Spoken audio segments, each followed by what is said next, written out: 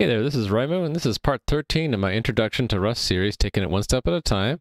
Today we're going to be talking about reference counting and interior mutability. So I'm going to start today with the example I had from the last video, which covered a binary tree. But instead of a binary tree, this time we're going to be handling a different kind of data structure called the directed acyclic graph. And this is in order to introduce a reference counted pointer and how that might be useful. So if we were to try to code the data structure for this, it looks kind of similar to the binary tree, where we have nodes and then we have indirect pointers from one to another. So let's start with my binary tree example and turn it into one that works with one of these direct acyclic graphs. So instead of a left and right, we're going to have multiple references to many different places. So we could represent this, I guess, as something like edges and a vector of nodes.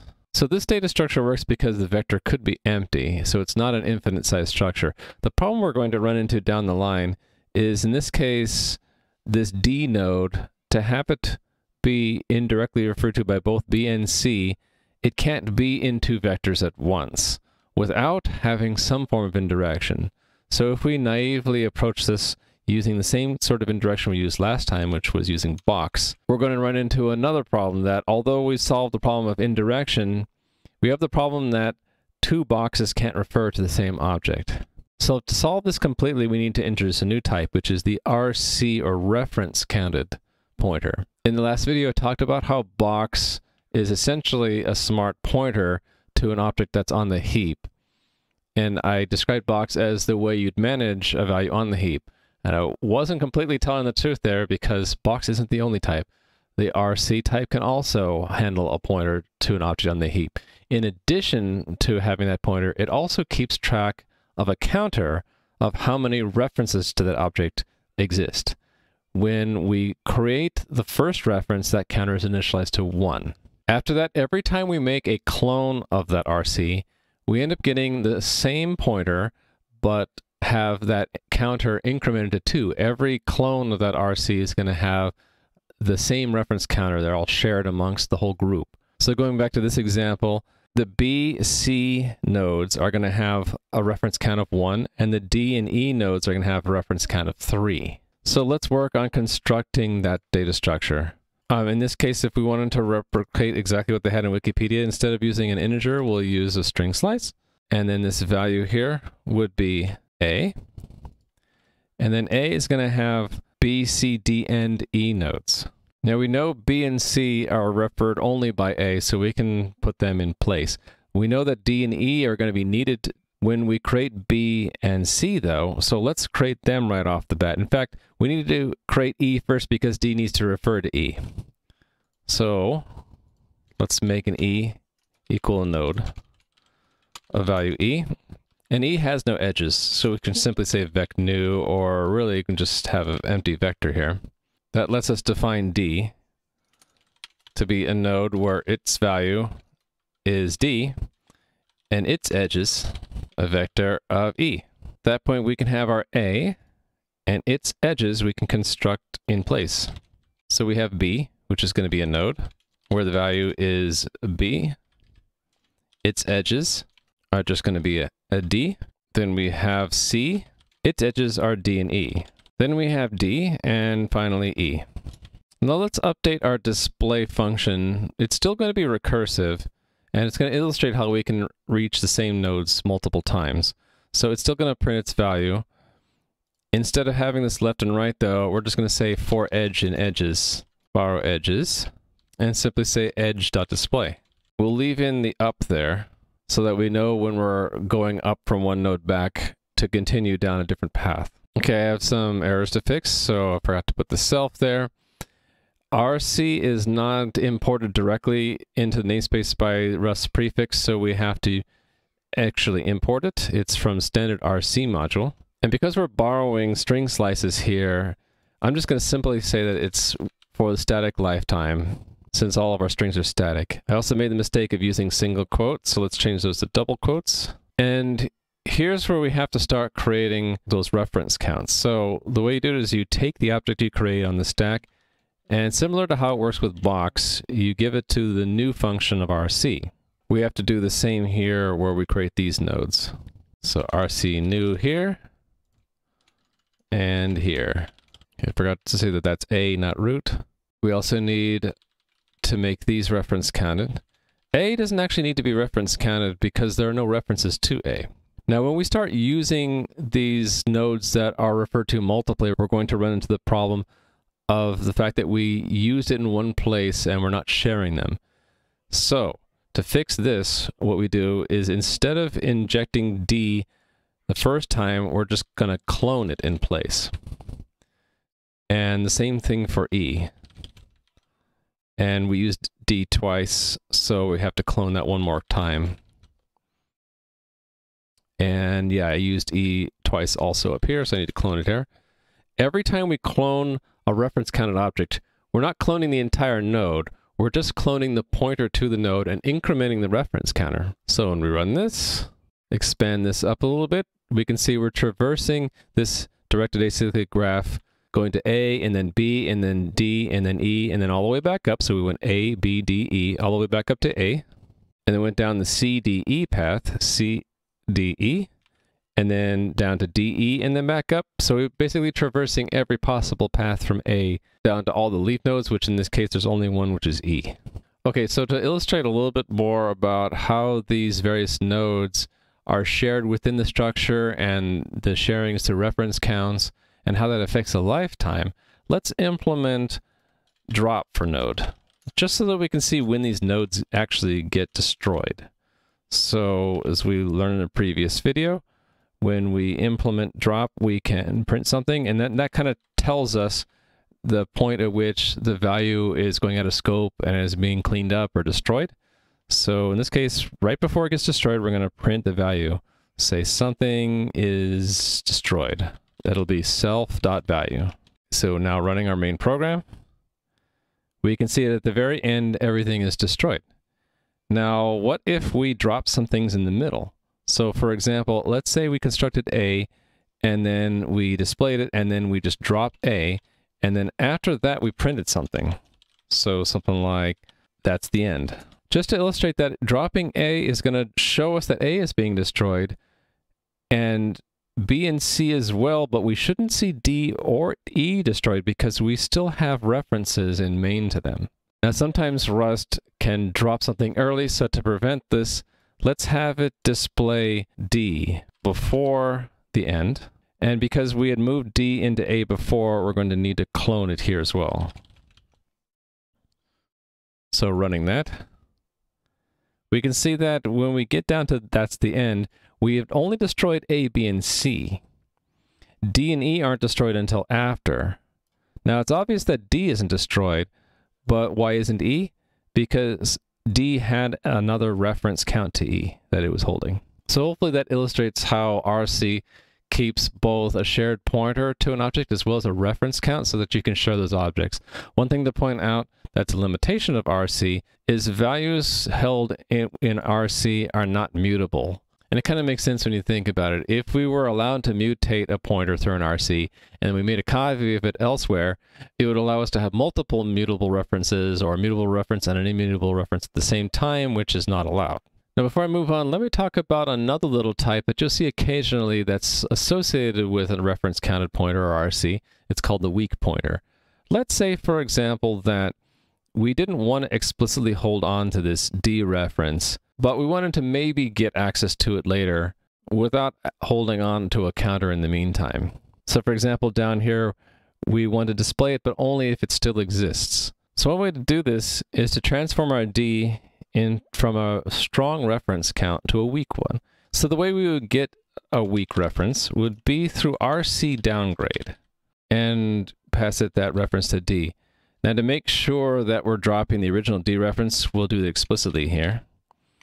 And let's say after dropping A, we'll see, can we still get to the original D by saying let D equal D weak dot upgrade. Now it returns us an option. So we would say if let some D equal upgrade, we can display it. Otherwise, let's print something like D got dropped. So when I run this, we'll see that as soon as we displayed A and then dropped it, the entire graph got dropped, D got dropped. Sorry, that's the end. Now, if we don't drop A until after, we should be able to get that D reference back. Let's have it print something here, recovered D, just to make it more clear when we run this program here. Maybe we can see we're actually able to recover that reference. Now, we were only able to recover the reference because we didn't drop A, because A held D within its structure.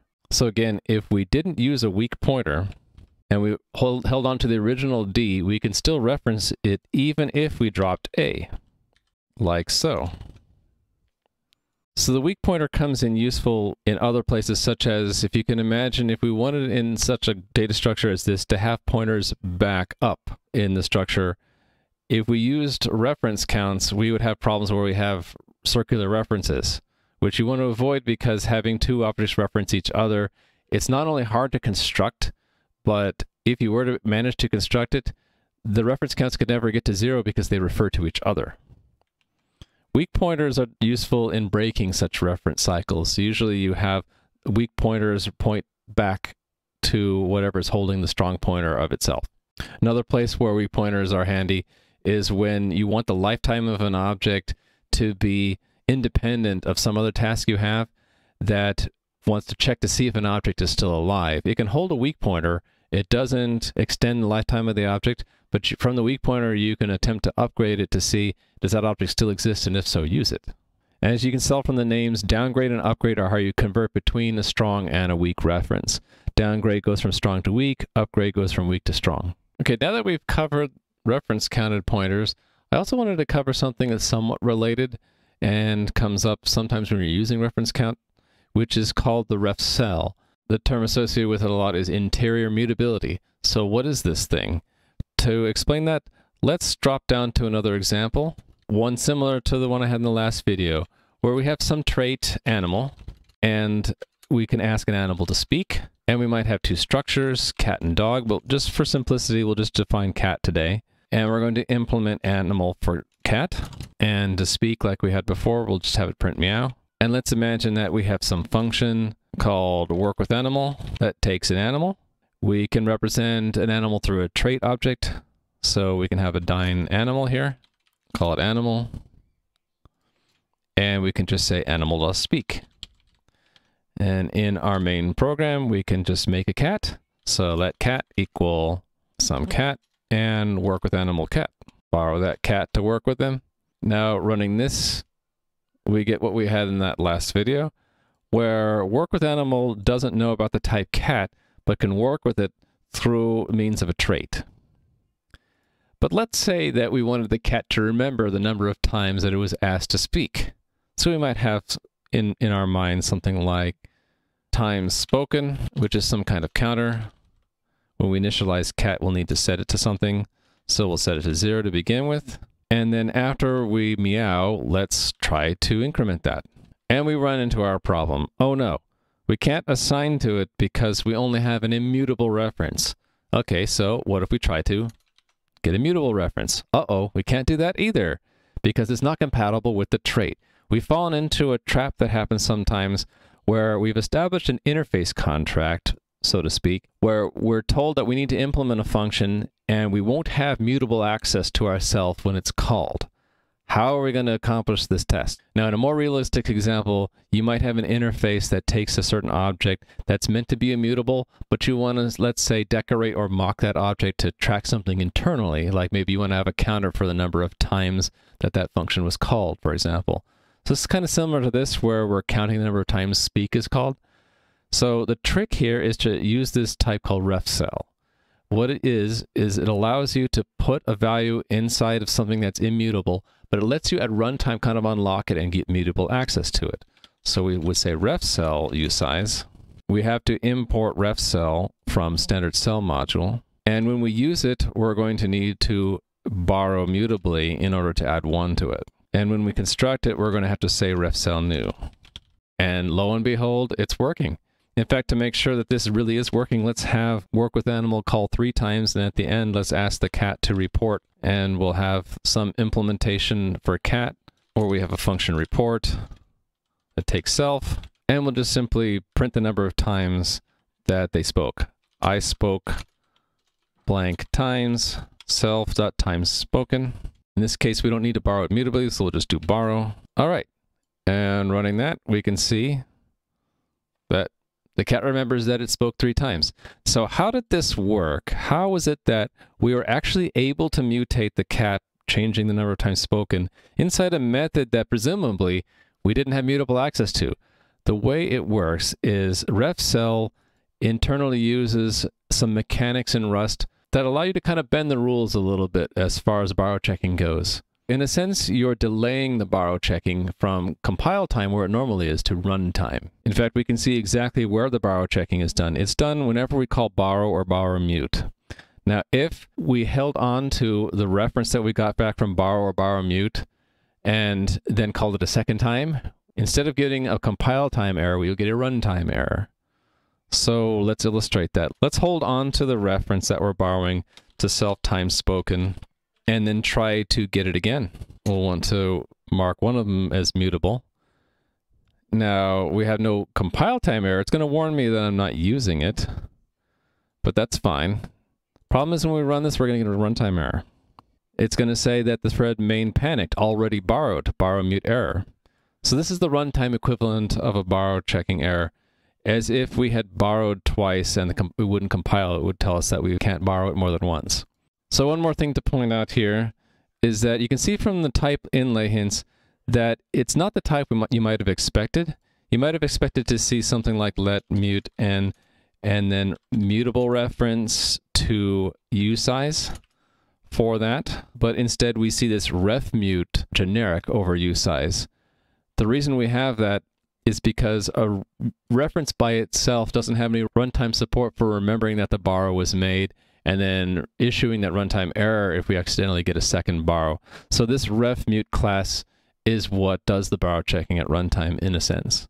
So although it's a generic type, not an actual mutable reference, mechanically it works the same because it implements the deref trait so it works as if it was a reference. Now all this said about refcell, you might think, wow, this is great. I can make functions that take immutable references and then sort of break the rules at runtime and mutate them. The guidance with Rust is to use this as a last resort because in doing so, delaying the borrow checking from compile time to runtime, you're not going to catch a lot of mistakes that you would otherwise make until your program actually runs.